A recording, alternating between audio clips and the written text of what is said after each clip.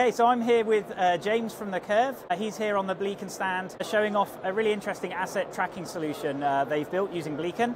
Um, do you want to talk us through um, how it works and um, what sure. problem you're solving? So the demo that we've got looks at a case study that we've uh, did for uh, a client in the construction space. So they wanted to be able to understand how their workforce moves around a construction site for security, health and safety side of side of things. So around their site are uh, various uh, reference Bluetooth beacons that are just statically installed at different locations among the site. And we've got that reflected here in this demo where each of these blue spots represents a different static beacon in this exhibition hall.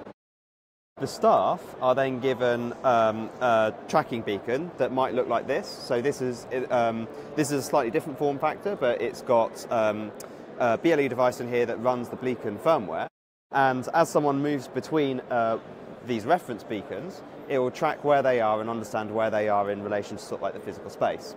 One of the things that's really nice about uh, the firmware that runs on the Blecon stack is that if I have another device which is sat outside of range, but I come into range with it, and then I go into range of the gateway, I can then report back here I am at this point in time, but I've also seen other beacons in these locations at these point in time. So you get complete coverage, even if you have an area where there's, it's not covered by a gateway or anything like that. And I, guess in this case, it was a very sparse environment. Yeah. So that's why coverage uh, couldn't just be put across the site. Couldn't, couldn't necessarily be guaranteed. In, in this specific example, yeah, it was a very remote environment, no fixed power, no strong connectivity. So then the Blecon Gateway's got SIM connectivity built in, which works really quite well. And then all of this is actually being operated off sort of like battery powered infrastructure as opposed to relying on sort of like mains electricity feed.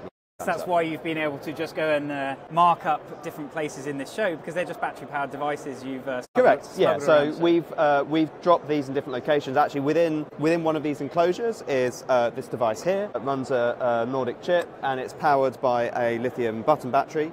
Depending on how you can configure, configure the device, it will last for probably around about a minimum of two years, up to five, maybe a little bit more. All of that depends on how aggressively you actually want to offload data and those kind of those kind of factors as well.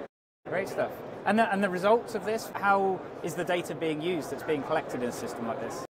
Uh, yeah, so um, uh, that's then being uh, offloaded in, into a cloud platform where it's then processed, it's analysed. They've then got sort of like real-time reporting on where people are, where they are on different points of the site. I think another key consideration with this is that it has to overlap with the way that the client already works as well. This through uh, one of Blecon's uh, hardware partners, they've actually managed to take this uh, concept and manufacture it into the RFID badges that the that the employees wear. So rather than having to actually have a separate tracker, they can all have it built into one capability. It works with the existing security gates they've got and all of this.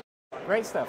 And this is uh, not the only project you work on, so do you want to just uh, introduce the, the curve and the sort of projects you work on in general? Yeah, sure. So we're a technology consultancy, which is like, it means quite a broad thing to a lot of people, but clients come to us with problems and we look at how we can use technology to solve those problems. And that can span typical software solutions, so web portals, mobile apps, anything like that, or projects like this where we've got customers wanting to deploy IoT solutions where there's an element of ha- hardware involved, and then that's where we'll do things like bring on board partners like Blecon to kind of help build out sort of like a full end-to-end solution. Because that's really kind of where we come into our, our specialities. We sit down with the client, really understand, get to know their problem, and then try and look to deliver a solution that's complete in its in its entirety.